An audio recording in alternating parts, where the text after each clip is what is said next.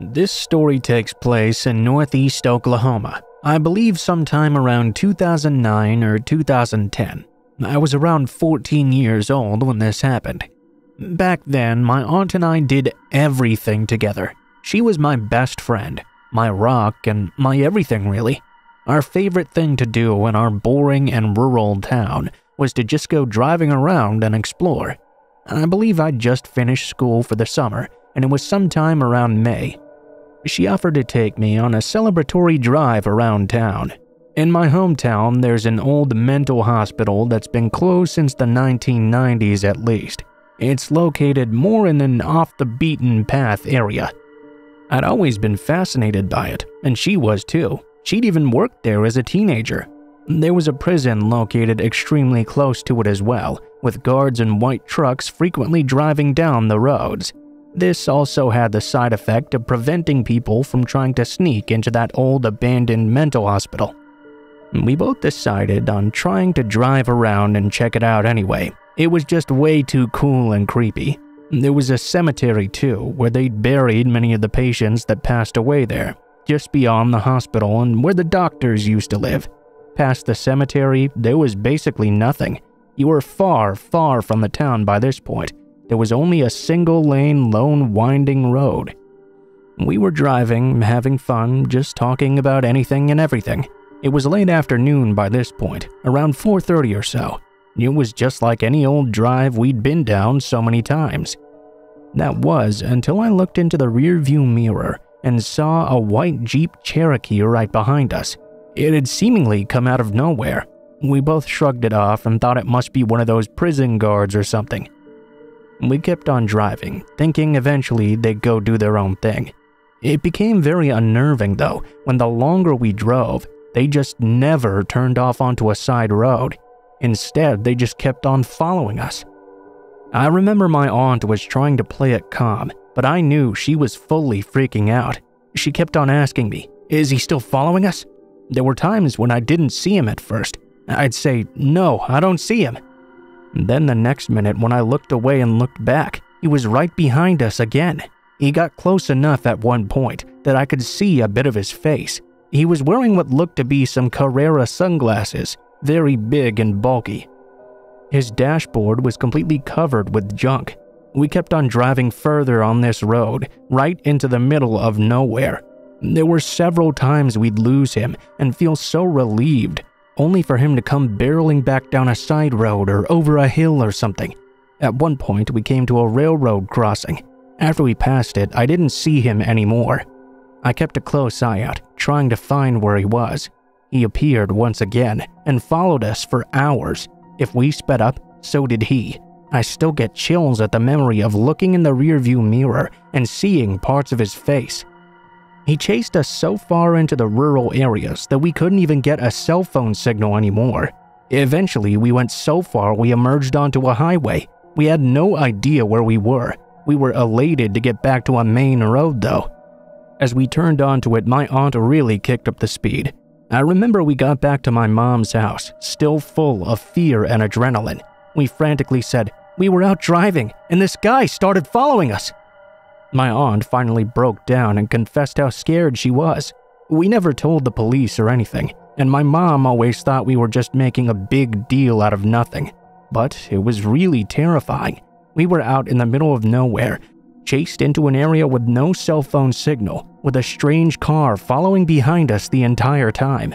I remember we talked about it afterwards. Like, what if she had run out of gas? What if her car broke down? What could we have possibly done in that circumstance?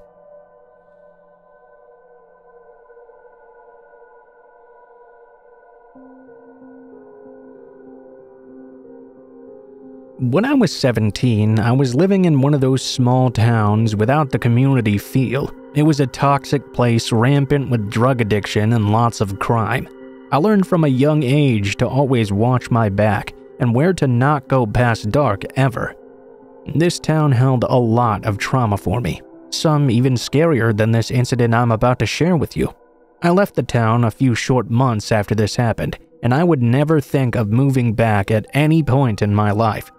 For context, I was working a lot and finishing up my senior year. We didn't have a working washer and dryer at home, so I had to go to the laundromat to do my laundry every time.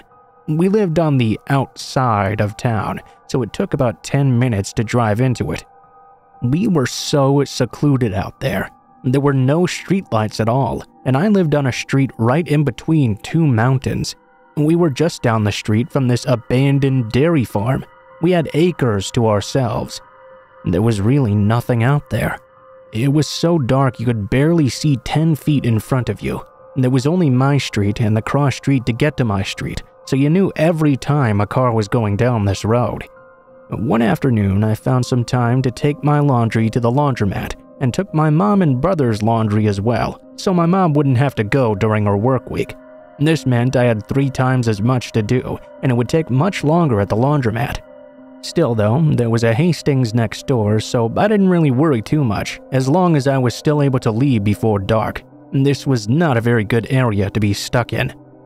By the time I left, the sun was just almost going down, so it pretty much worked out. By the time I was on the cross street to get to my own street, though, it was completely pitch black. I was all alone out there. I thought so, at least. I turned down onto my street, and within seconds, someone appeared behind me, as close as they could possibly get without slamming into my car. They had their brights on as well. This confused me. I had seen no other cars on the road or behind me before I'd turned onto my street.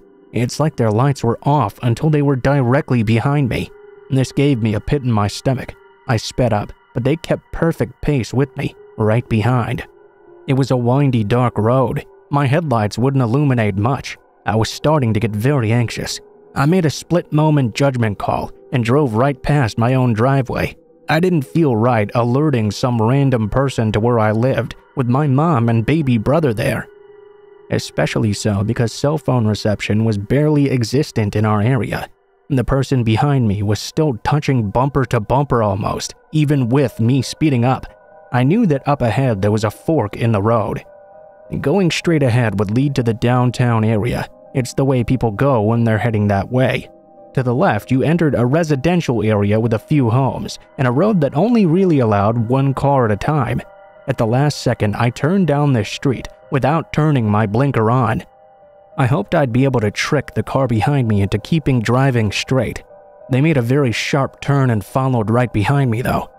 By this point, I was extremely scared, but I was still hopeful that maybe the car behind me just lived in the area or something, by now, we were going close to 50 down these residential streets and speeding up even more.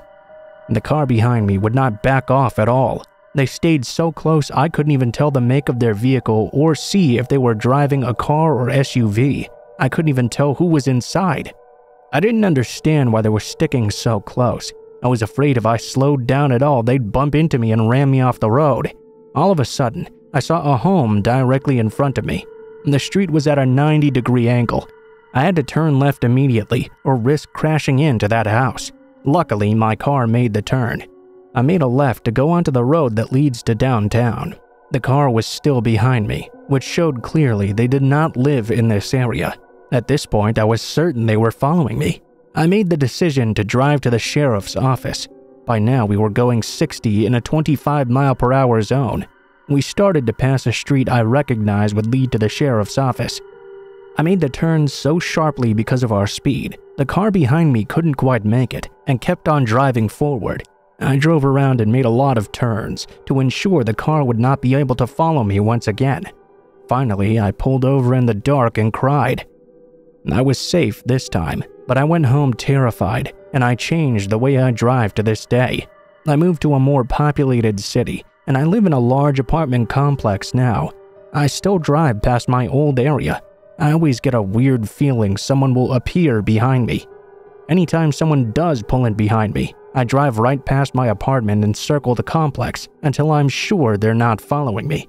My paranoia saved me that night. Possibly also my mom and baby brother from something that could have been so much worse. Always pay attention to the people behind you.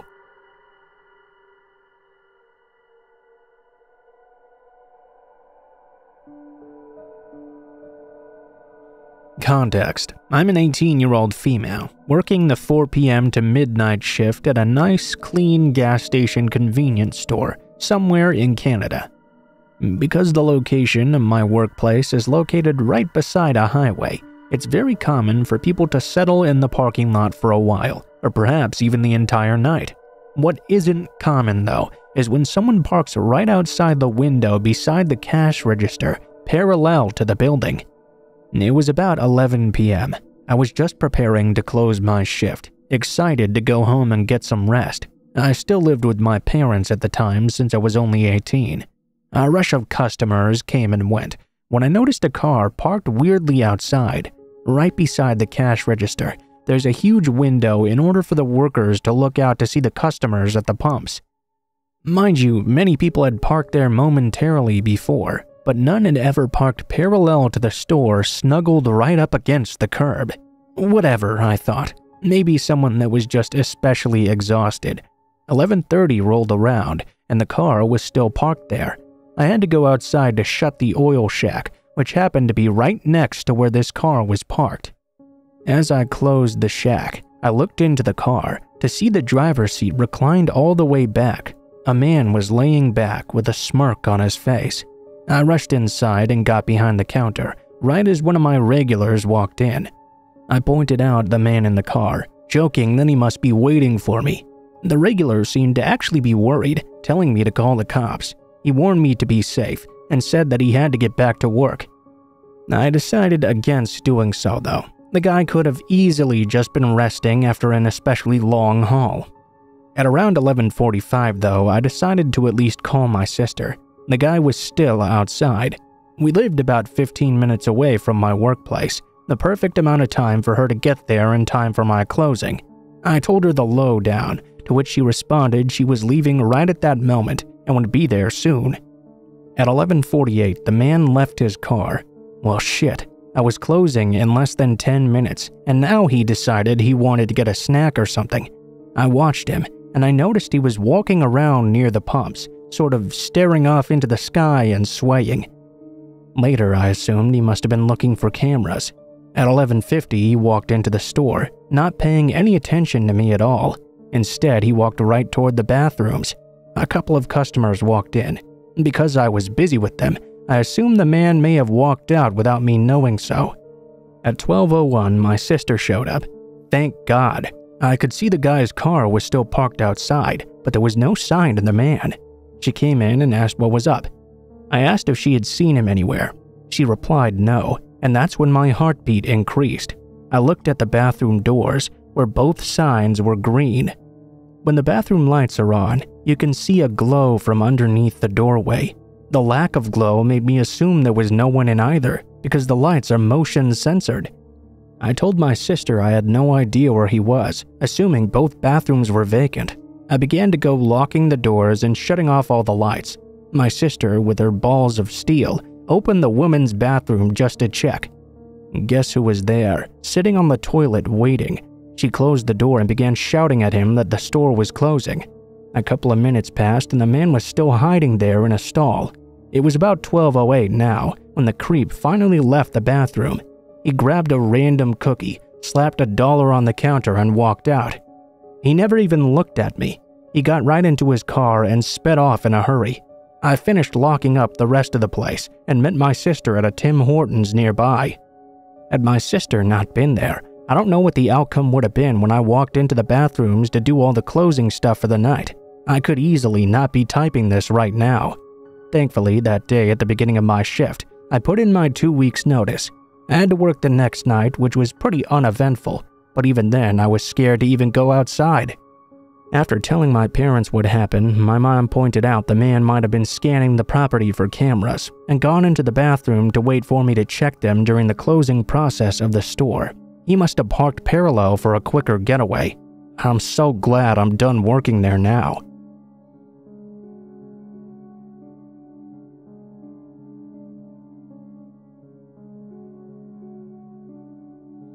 I was on a solo road trip several years back and had fancied that I could make an 18 hour drive in one go.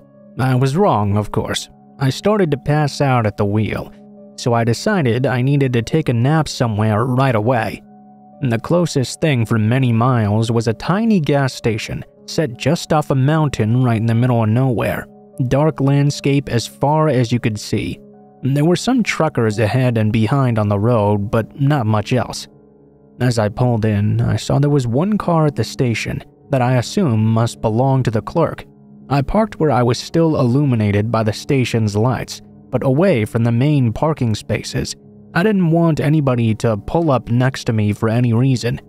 I set an alarm for 45 minutes of rest and figured I'd see how I felt after. Suddenly, though, I was awoken and glanced at my watch. Only about 20 minutes had passed by. I glanced out my driver's side window and found myself making eye contact with a random man. A truck had pulled up about a space away from my car. There was no passenger. The driver was in his passenger side with his front and back passenger doors open. He had this long, massive chain in his hands and seemed to be pulling it out of the back of his truck, watching me sleep. A second after we made eye contact, he froze. He stood still as a statue and glared right at me. He began to quickly tug at the chain and took a step towards my window while not breaking eye contact. My keys were still in the ignition, luckily, so I made a very hasty exit. As I pulled away, the man in my rearview mirror had moved to the back of his truck. He stood in the truck bed and watched me drive off. I can't prove he was doing something nefarious, but why did he park right next to me when I'd parked way out of the way? He also didn't need to watch me sleep. He didn't need to step towards my window with that big chain. I'm not sure what he was doing with it, honestly. There was nothing in his truck bed visible or around his truck that would call for a chain of that size. I definitely didn't stick around to see what he was doing. And why did he watch me drive away so menacingly?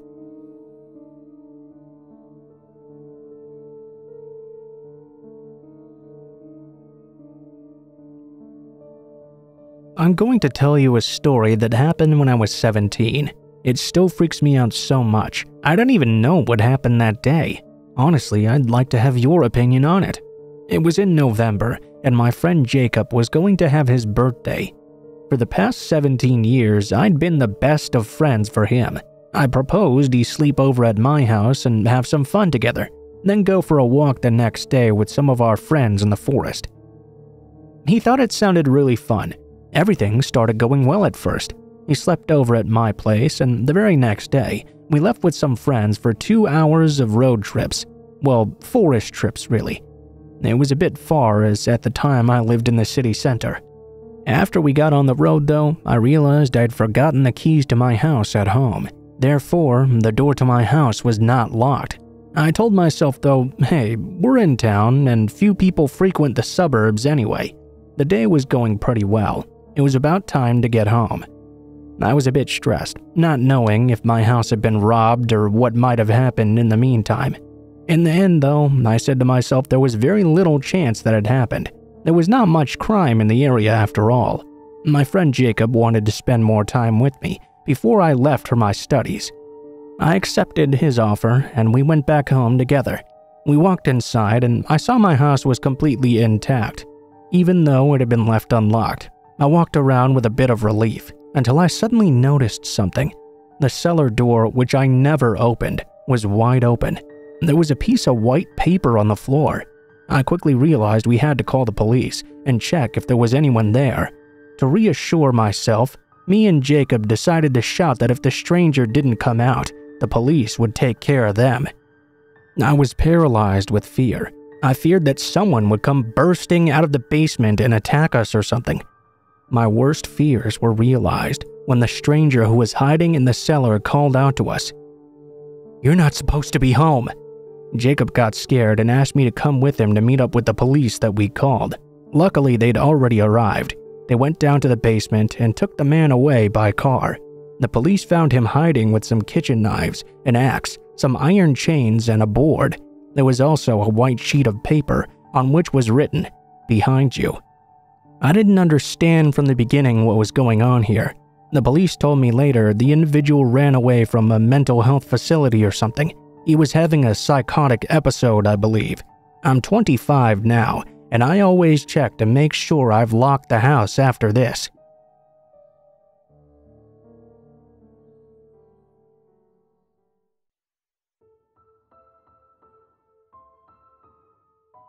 What is up, guys? Blue Spooky here, as always.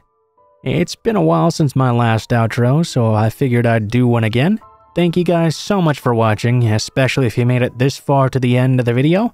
If you liked the video, please be sure to like, share, comment, or subscribe if you feel so inclined. If you have any constructive criticism you'd like to share with me, be sure to leave it in the comments below.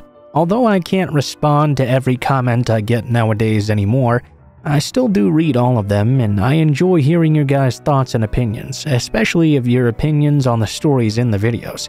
If you guys have some stories you'd like to share yourselves, please be sure to check in the description below the video. There will be links to all of my social media, including my Facebook, Gmail, and Twitter accounts. Be sure to send me a message on any of those, and I'll try to get back to you as soon as possible. If you do decide to send in a story, please be sure to include in the tagline what the name of the story is if it has one, what type of story it is if it has a type, and how you'd like to be credited in the description of the video the story appears in. Also, please be sure to properly format and add as much detail as you feel comfortable with to ensure the most probability your story makes it into a video.